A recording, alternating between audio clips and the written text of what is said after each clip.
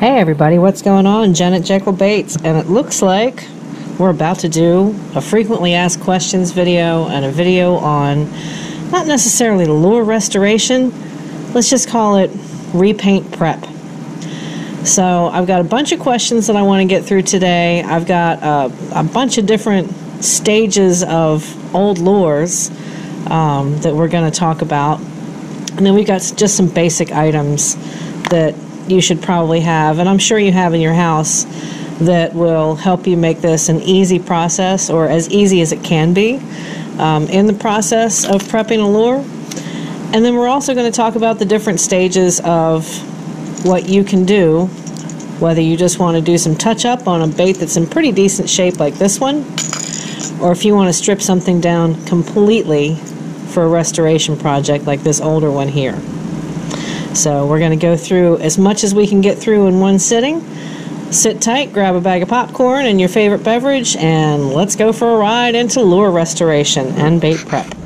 Now to get started, there's a couple of different stages of bait that you're bound to see. It could be a reclaimed bait from the bottom of a lake somewhere that you accidentally grabbed while you were retrieving the lure that you almost lost. Or it could be a bait that's one of your favorite go-tos and the fish have just chewed on it so much you don't want to get rid of it because you know it's a fish catcher, but you want to try and reuse it again. So we're going to try and cover as much of that as we can today. Um, but let's start out with some simple stuff. Number one, what are you going to be using the lure for? Are you going to put it on a shelf and collect it like an older bait?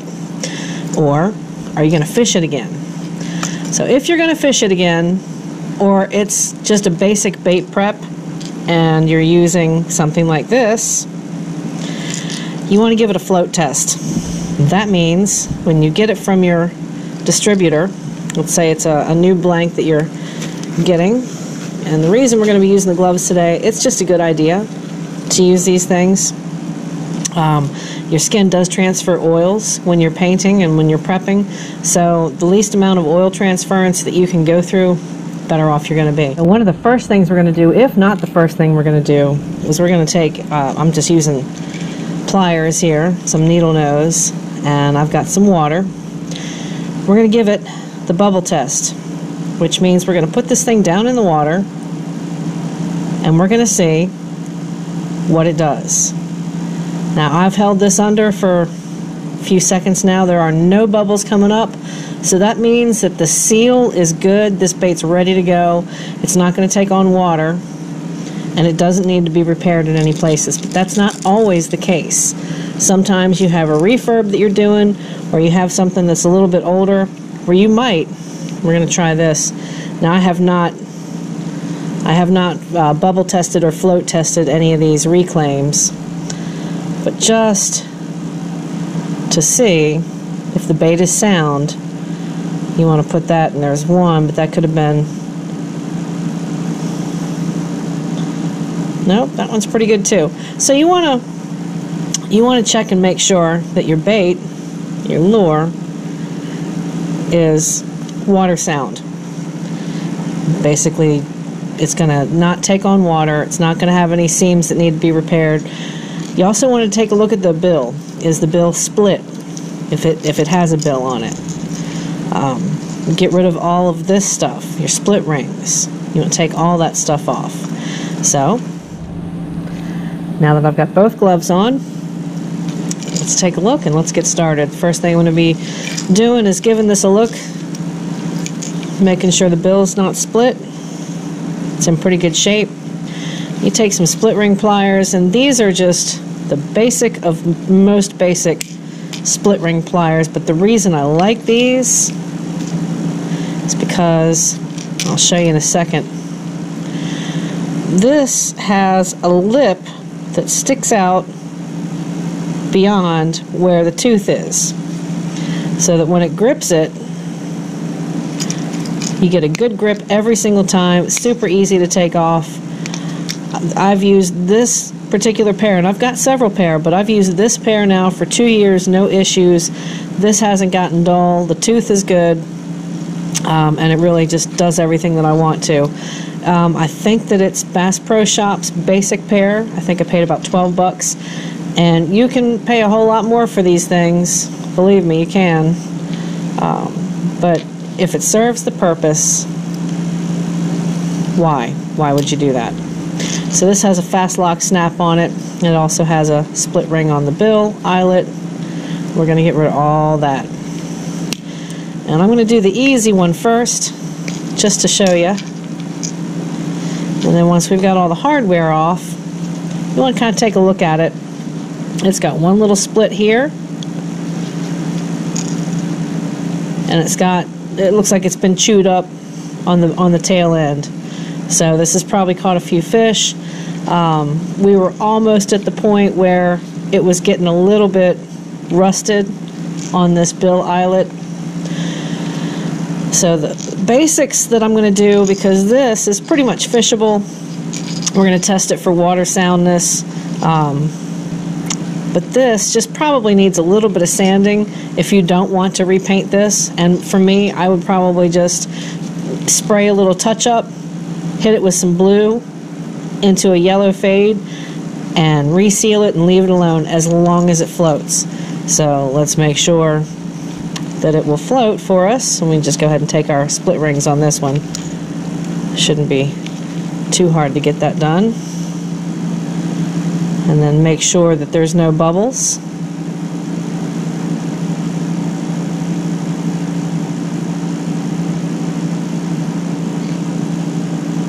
There are not. So now that we've got a little bit of water on it, the next thing you want to do is you want to grab. Now you don't have to use the tooth uh, the toothbrush that I have. This is the uh, Snoopy Red Baron for when family and friends come over to stay. It just happened to be what I had around. But you want to kind of clean off any dirt that might have built up if this thing has been reclaimed from a lake, which this one has. Um, luckily, it doesn't look like it was down there too long. The eyes are intact and they're not loose to the touch. You want to make sure that that's in good shape. And then just clean off any loose dirt that you're going to find around the eyelets. And then if you want to retouch the back end, which you don't have to. This one's in fairly good shape, but if you want to retouch it, you want to grab some fine grit sandpaper. And you just want to sand it down to where you don't have that noticeable difference in layers. And then just take a little bit of time, get that sandpaper going. and that way it's fairly smooth to the touch. And again, with something like this, unless you really want to repaint it, I would just probably coat this again, dip it into clear coat, maybe do a little bit of touch-up work, try and match this blue, and then fade it into that, that bright yellow. This looks like a Createx or Wicked combination of maybe a, a bright yellow transparent and a fluorescent. Um, just a couple little places to touch up. The bill is sound, it's not loose, it's not split. We're pretty much done with this bait. If you wanted to, you can repaint it. And if you want to repaint it, then you would scuff this a little bit more.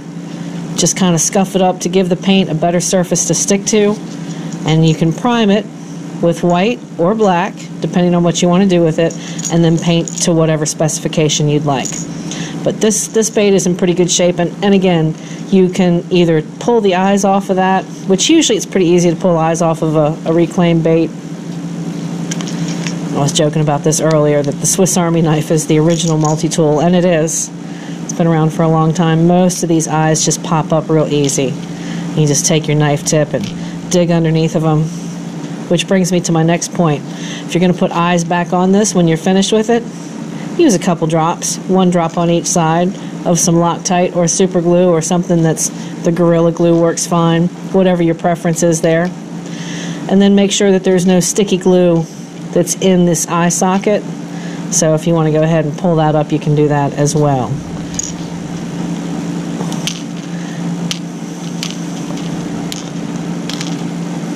And there you go. Just get all that gunk out. Pretty easy. Now this, um, more than likely, was an image wrap. Possibly not. Um, but if you wanted to go ahead and take this all the way down, you would just take your knife tip and gradually peel this up and then peel it up from here. But with this, this is this is like a citrus color. This is a pretty good color in combination to begin with. I would pretty much leave this bait alone or touch it up. However, sometimes you get a, a lure that you really want to restore and it looks like doo-doo. So obviously there's no point in giving this a float test because it is going to take on water because it's got screw holes in the plastic. Now this is not a wooden, it looks, it almost looks like an old wooden, but it's not, I promise. It's a, it's a plastic bait. It's probably, I'm guessing about 15, 20 years old. But when you pull this paint off of that, you get down to plastic.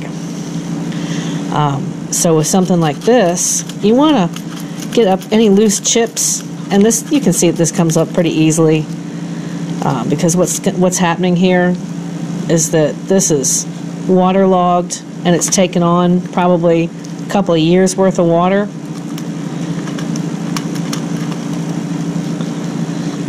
So then what I would suggest with something like this bait is that once you strip this down, and I'm not, I'm not going to go through the entire process because we've got quite a bit to get through in this video with bait prep, but I would go ahead and strip this down all the way, completely to the plastic. The next thing that I would do would be take out the screw holes, or take out the screws rather, leave the holes there, and dip it. Uh, and then you can kind of see how I've got the screws. You can put these back in or take them out. Uh, the screws are actually in really good shape, which it's possible that it wasn't under too long, but you can also see some rust on the metal right here. Um, so I would take off all the junk, get those needle nose pliers back out, and uh, snip this. This is an old treble hook that had still been attached. So you just want to do the best that you can and strip that off.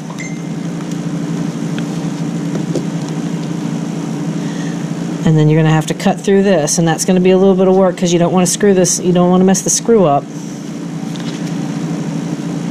Just get right in there. Snap that. And it has enough rust on it. And there's your screw.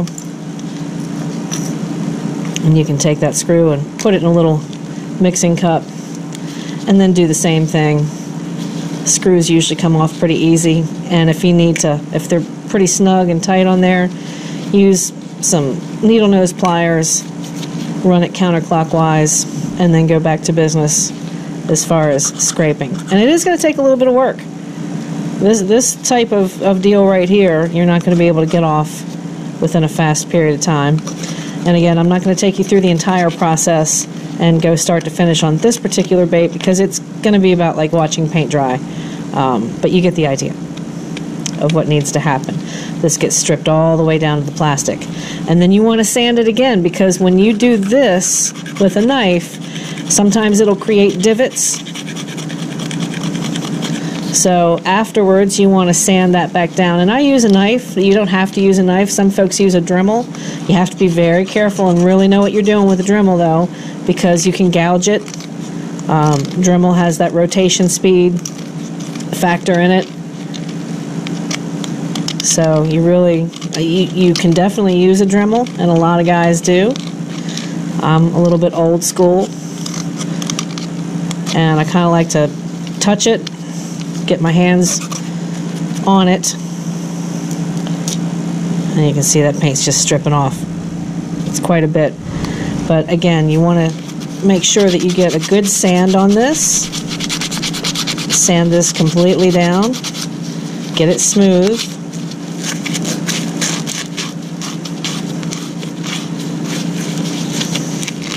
And then you're ready to prime it and paint it.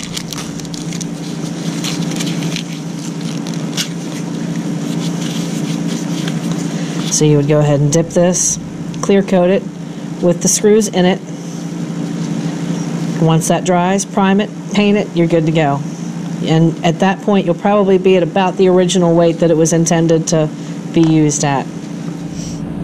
The next question I get asked all the time is how to clean the metal on some of the older lures like the, the Heddon lures. Um, you can see that I have a small piece right here. We're going to go back to our toothbrush, Snoopy Red Baron.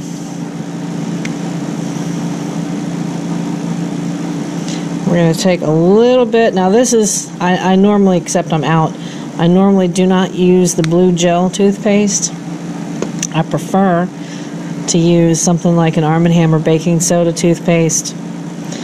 But you just want to, without any water on it, you want to get all of the parts on the inside and the outside that you can covered and then brush all the grit away from this that you can. A lot of it again is going to depend on how old this is as to how much you're able to actually get off. You just want to run all those pieces through a toothbrush, some regular old toothpaste, And a lot of times you'll find that that shines up very well. Doesn't take too much effort.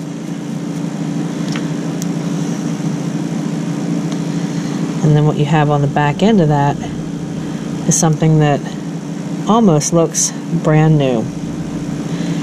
So once you take a towel to this, now for this I can go ahead and use a little piece of paper towel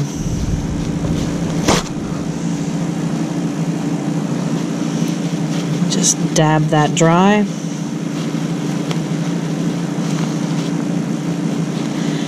Can you dip it in tarnish remover? You can, sure you can.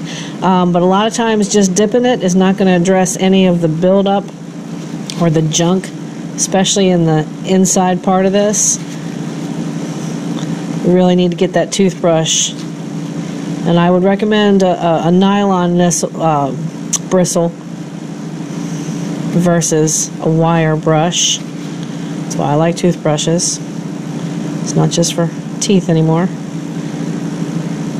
And there, if you guys can see that well, it is shiny and new. Um, just a quick tip. Simple stuff you're going to have in your house every single day. Also, eyeglass repair kit. Uh, a lot of these older baits have got pieces on them. Let me see if I can find something as an example that have little screws on them. So you can use eyeglass and just gently take that screw out. Um, for this, I am going to put a glove back on because once this bait has been clear coated and it's still in the 24 to 48 hour period where it's fine to the touch. This has been sitting overnight for probably about 18, maybe 20 hours now.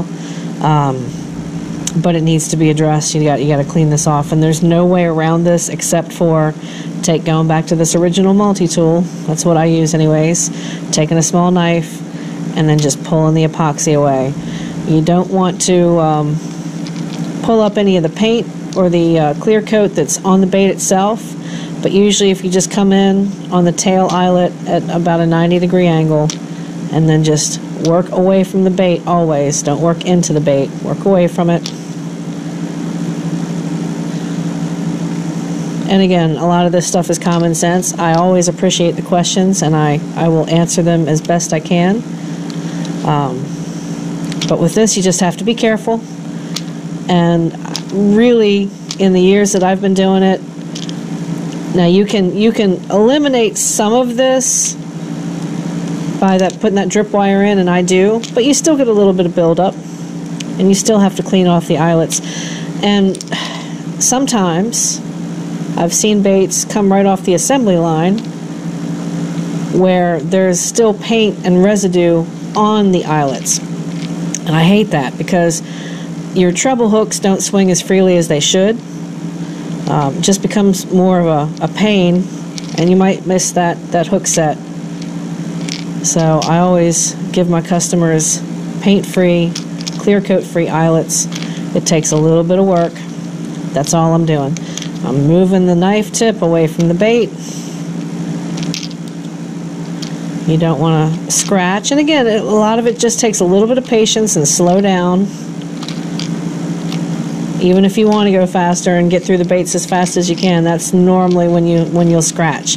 And within the first 48 hours, this can still be a little bit soft. It does get rock hard over time. Uh, I am a believer in KBS still to this day. Um, I like using it. I like that it's a one coat. If you don't properly store it, it will have a tendency to skin over and get a little thick. So take the time to check the lids every time you use it. Replace that saran wrap. And if you want to see the clear coat process, I have plenty of videos that do show that. Um, the nose eyelet, a lot of times, is the hardest because you're kind of working against two surfaces that come together at almost like a 90 degree angle here.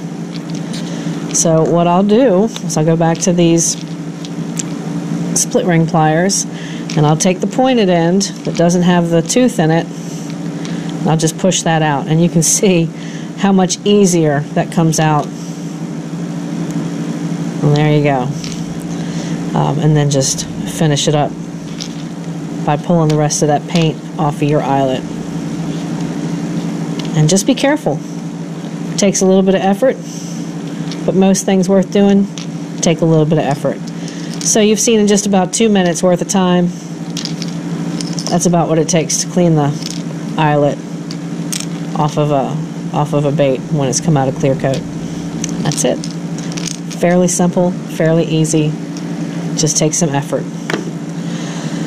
So the next question that I get asked is, Jen, how do you remember your patterns? Because you have a lot of them. I do. Um, most of it is just repetition, doing uh, large runs, understanding the color chart and the color wheel. I can look at a bait after doing it for a few years and know exactly what's going to go where. Um, can I duplicate it as if I were a machine? No. There's always going to be a little bit of uniqueness to each bait that I make. Um, things are going to be done very similarly, but not identical. So again, again, taken for example these two right here. These were done together in the same run. They're for the same customer. But I do try and personalize them a little bit and make them unique. Now, would I be able to remember this color pattern? Sure. Um, it's basically just a transparent orange with some pineapple yellow in, in the middle. I have some uh, some moss green on the bottom that's over top of the yellow and then a little bit of like an Ozark olive drab green on the top back side. So with just a little bit of repetition and just doing it for so long. And, and I've kind of gotten to the point where now I can look at a bait and be able to, to do it again. Um, but again, it just takes practice, just takes doing it for a while. Um, some folks write down their colors, like, hey, I made it with this color, this color, this color, and this color. And then you can even draw out a little diagram of, of your bait and which color goes where. Um, I think that if you do stuff over a period of time, you'll, you'll be able to achieve all that without having to do that. The next thing that I wanted to cover, um, let's let's talk about the airbrush for a second because I want to go over here and show you I got a really good tip. So I did an airbrush cleaning tutorial um, not that long ago. I've been using this today, so I'm going to go ahead and pull off the tip here. And I'm about ready to clean it anyways. Pull this back piece off. And this, this is in basically saving the needle. And we were talking about paint that can get in this area right here and I don't even know why I never thought of it, but um, Pond Boss Baits and also uh, I think um, Mr. Paradise gave me the epiphany, and sometimes it takes it takes a village. Sometimes, folks, but pulling the needle out from the front instead of from the back, and because the paint goes into the chamber and then flows forward, it just makes more sense to pull it out this way and then clean your chamber and not pull some paint soaked needle all the way through the back of the bait and it's it's one of those aha moments where it's like, well, God, I've you know I've been painting for years, and I've just never even thought to do that. So, a lot of times, you guys help me learn as much as hopefully I help you guys learn. So, there's your pulling the needle out the right way. Thanks to Pond Boss. Uh, shout out to you guys, and I think it's Don Paradise that had the almost the exact same time on the commentary. So thank you guys for that. I appreciate that, and. Uh, that's the way to do it, fellas. That's definitely the way to do it. But while I'm over here, I wanted to show you something else. Now, I go to great lengths to make sure you guys get the links that um, on the stuff that I use and the deals that I've found and some of the better price stuff. And I do use Amazon a lot. I do a lot of online ordering because I simply don't have time to run up throughout the day and hit Hobby Lobby or Michaels. And actually, Hobby Lobby has a lot more stuff than Michaels ever did, but and uh, they're a good company. Um, Blick. This is an online Bible for artists, by artists.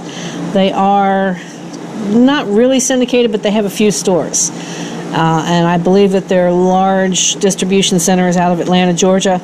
But here's what's really cool about this they have an entire section.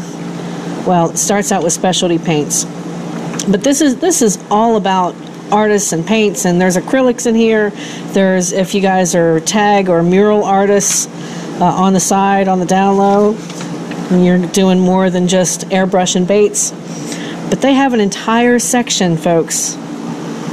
This is where the you know the light shines up to the heavens from they have an entire section on airbrushing everything that you could possibly need from your airbrushes compressors Badger, Iwata, Paasche. Um, just, it's heaven, heaven for an airbrush artist. So they've got all sorts of, can- there's your candy colors that shows you what the bait is going to look like. Um, you can't go wrong with this book. And I think somebody asked me, I can't remember who it is, and I apologize for that. You can't go wrong with this book, folks. It's Blick Materials for Artists. It's a free catalog. You can ask for it at dickblick.com. Let me hold that up so you guys can actually see this catalog. Um, there's there's no finer spot online. For artists, by artists. All of your colors are in here, not just Createx. They have them all. Um, I haven't heard of, I think it's called Schminke, Schmin, Schminke, maybe. If I'm butchering that, I apologize. The Comart colors, Greg's Private Stock, Jacquard, Phil Martins. Everything that you could possibly want. Airbrushing. It's all right here. There's your frisket. Anybody want some frisket? There it is prices are reasonable. Anything over $59 ships for free. They don't pay me to say that, but I use this book. I use it like a Bible. Um, I also, obviously, you guys probably know that I paint as well on canvas. So this thing comes out every year. Um, it's as thick as a Bible, and for artistry, you, you can't you can't beat it.